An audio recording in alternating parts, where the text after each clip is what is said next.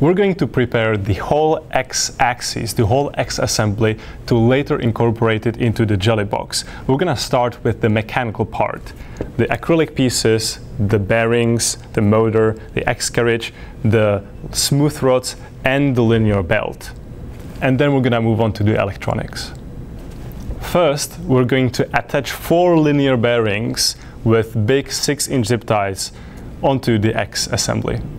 You're going to need the X assembly front acrylic piece, the X assembly back acrylic piece, four linear bearings,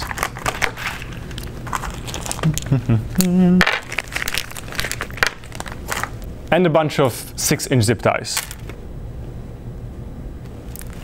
A good precaution is to clean up your acrylic pieces with some cloth because once you conjoin them, you will never clean the space in between.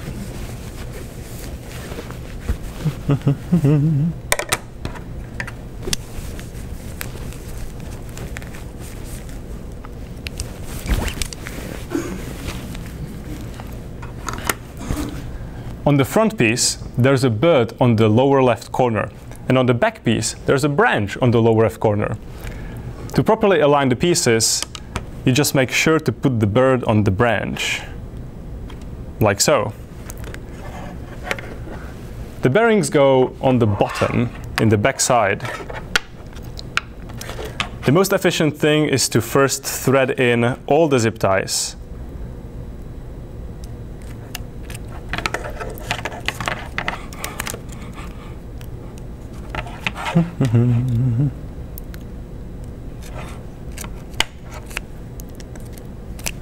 Make sure that the head of the zip tie is on the back part. That's the part with the actual slot for the bearing.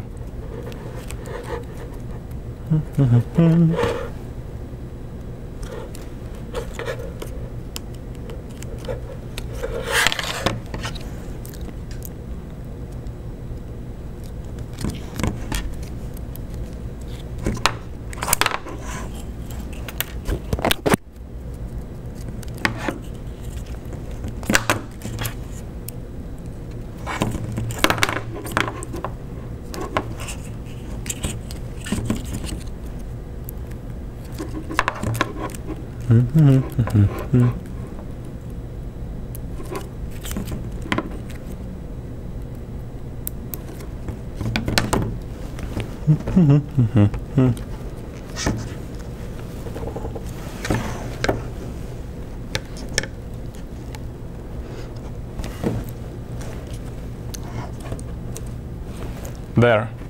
Now I can put on all the bearings.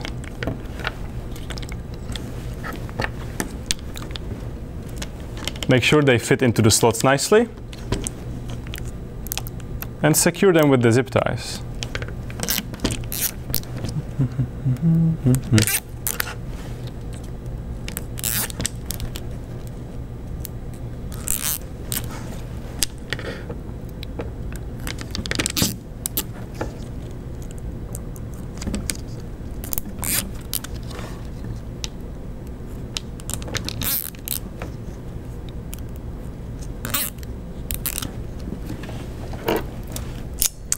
Now I'm going to use my vice grip to tighten the zip ties.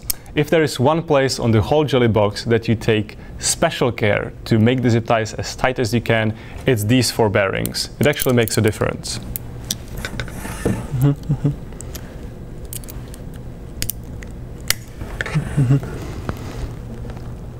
to get it as tight as you can, make sure that the head of the zip tie stays on the bearing itself. And remember to always tighten sort of opposite direction than the zip tie wants to go.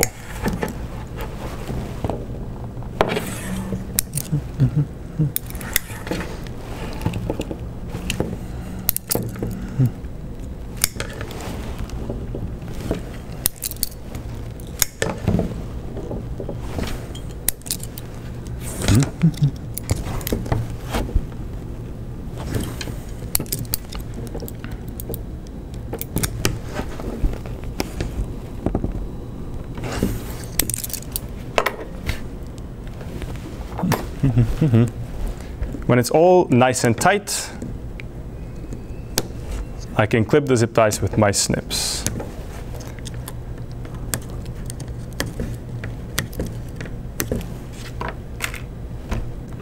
Next, we have to attach the X motor to the X assembly. You're going to need the X assembly, X motor, four M3 by 16 bolts and four serrated washers. As always, put all the washers on all the bolts.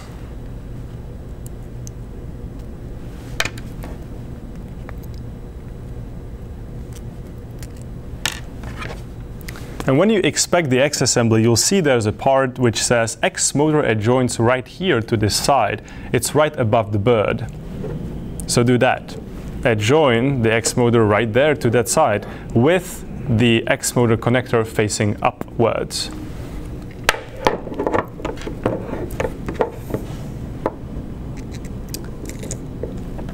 And secure it in place with the four M3 by 16 bolts.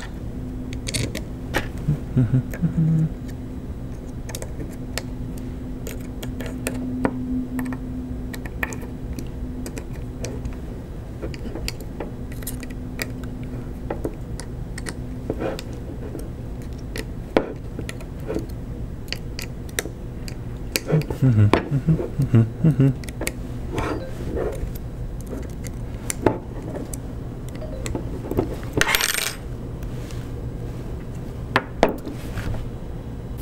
The next step is to attach the X idler to the X assembly. Later, we're going to wrap the X belt around the pulley and around the idler. You're going to need M3 by 25 bolt, two identical halves of the X idler bearings, one hex spacer. There are two hex spacers. Take the shorter one. That's 4 millimeter hex spacer. Two regular M3 washers and one M3 nylon lock nut. First we're going to put the bearings onto the bolt and secure them in place with the spacer.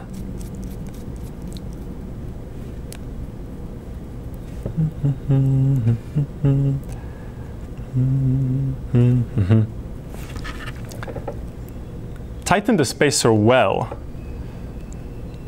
the idler should not be moving around at all. The bearings will make sure that it can rotate. We have a special slot for the spacer on the IMADE3D wrench because it is slightly smaller than a regular M3 nut.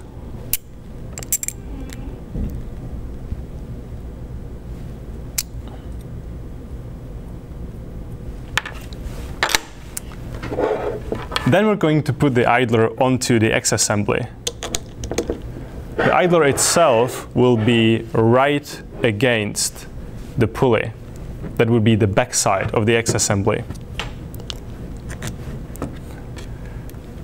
Don't forget, like I just did, to put one M3 washer on either side of the acrylic to distribute the pressure. Mm-hmm. mm-hmm. mm-hmm. mm-hmm.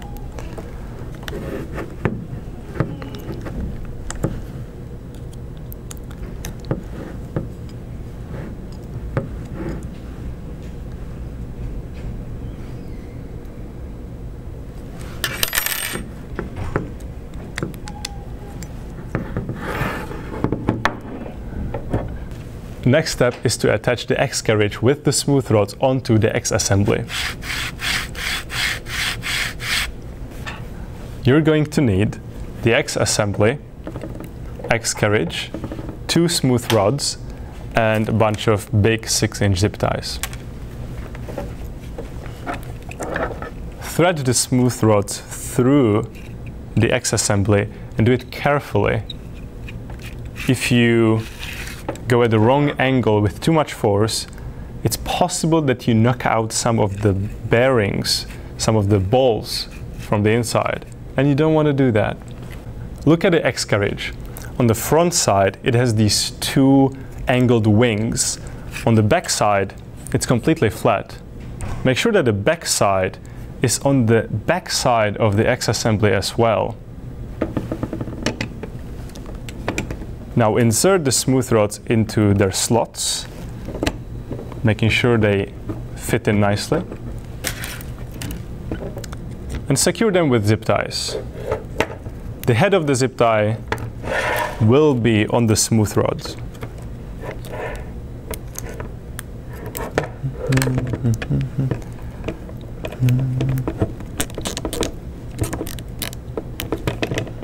Mm-hmm.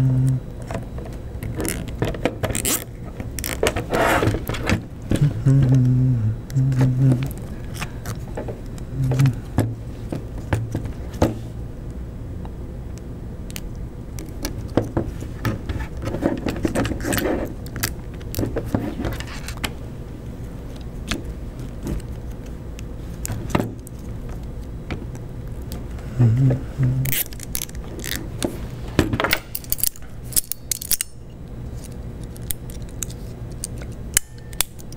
As a final step, tighten all the zip ties with your vice grip.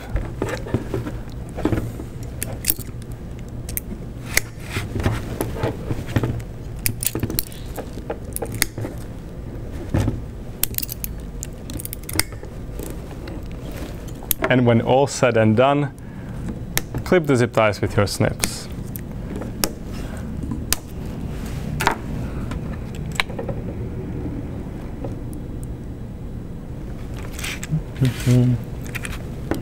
The next step is to thread the X belt through the X assembly.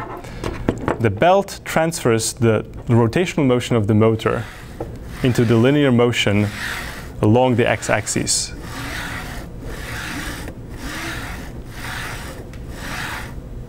You will need the X assembly, the X belt. There are two belts in your kit. One of them is marked X, its longer one, and one of them is marked Y, and a bunch of small 4-inch zip ties. Start by threading the X belt teeth up through the two quite big holes in the bottom of the X carriage and round the belt around the X pulley.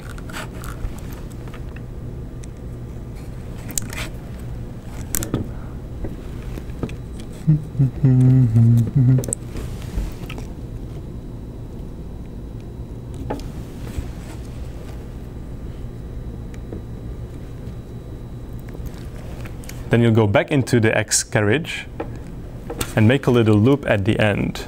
We're going to use one small 4-inch zip tie to press the teeth of the belt against each other, thus forming a secure loop.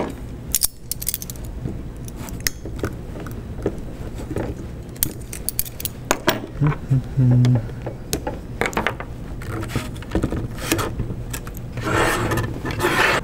Next, we're going to round the belt around the X idler on the other side and do another loop on the other side of the X carriage. We're now going to tighten the belt before we secure it with zip ties. And this is the easiest procedure for that. Put in two small loops. And now, while you pull, on the belt itself.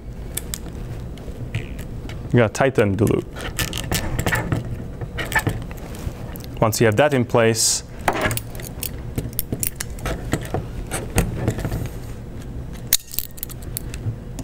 we're going to tighten the other one just to make sure that it stays in place. Note that on this side of the X carriage, the smooth side of the belt is pressed against the smooth side of the belt. That's why we have two zip ties there to make sure it stays in place and doesn't move.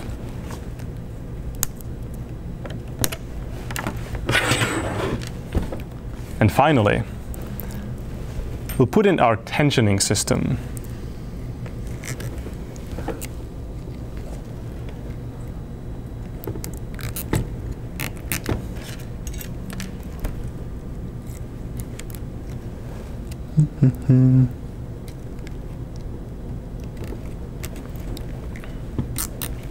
On the motor facing side of the X carriage, there's two slots for two small 4-inch zip ties. By tightening the zip ties, we can tighten the X belt. For now, I'll just put them in place and we're gonna tighten the belt as we need when we have the printer finished.